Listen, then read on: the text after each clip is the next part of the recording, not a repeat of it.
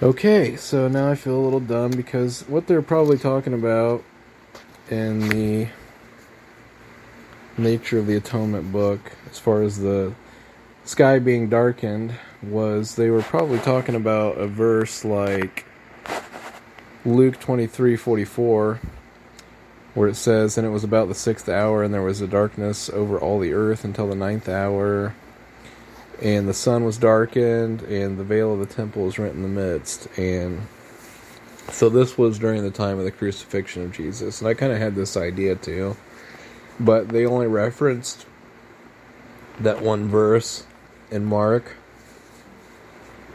So what they were trying to do actually was use that verse in Mark and say, well, see, this is God's wrath, even though it doesn't particularly say that either. You kind of have to add that to the text. But even if it did, and then they use verses like the, the day of the Lord and, and Exodus and whatever else, they try to they try to say, you know, whenever the sky is darkened, it's God's wrath. And so those are all supposed to be proofs that in a passage like this, like Luke twenty three forty four, that it somehow symbolizes God's wrath. But it doesn't say that, it doesn't explicitly say that. I think it's just a you know, it's just a fact that there was darkness over all the earth until the ninth hour.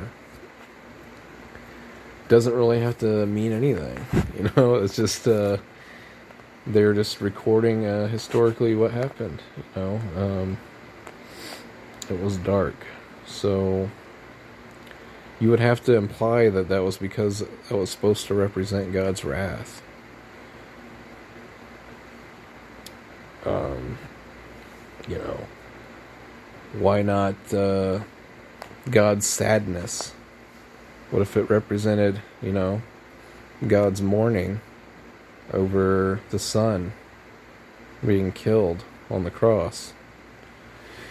Um, and you know, I don't really know exactly, except for I, I don't believe that it was the wrath of God.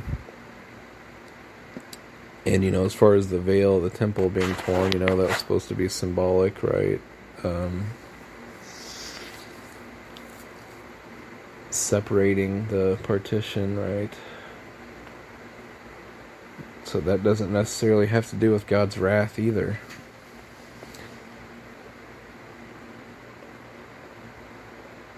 But that's just interesting. You know, this is probably really the passage they were talking about, but either way. I wanted to ponder on those passages anyway. So I'll just make that, fix that up.